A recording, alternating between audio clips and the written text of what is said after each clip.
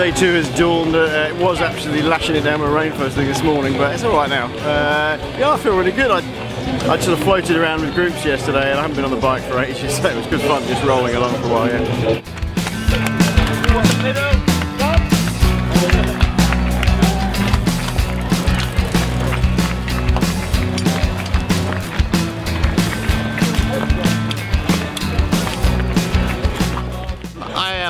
A rider with the Irish Paracycling team and I'm preparing to go to London Paralympics. I'm first London to Paris with this group and uh, basically um, I'm, I'm, in group one so it's a fast group. Uh, so they're making me work hard but it's a fantastic training for me.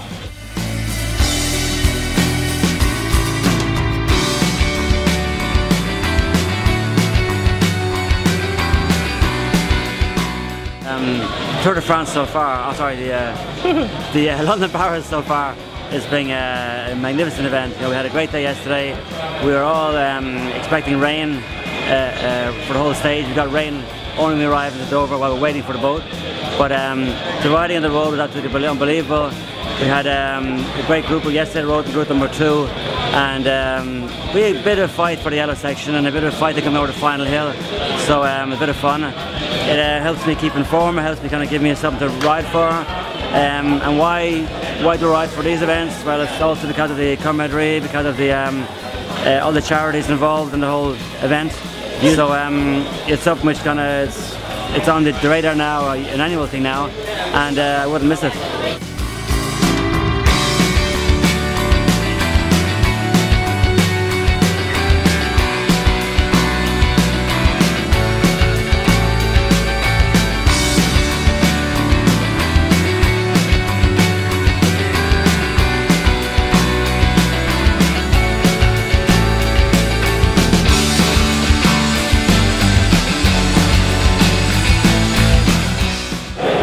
Today's been really challenging. I think challenging for everybody. Good riders, mediocre riders and the, and the, new riders. The weather's been harsh.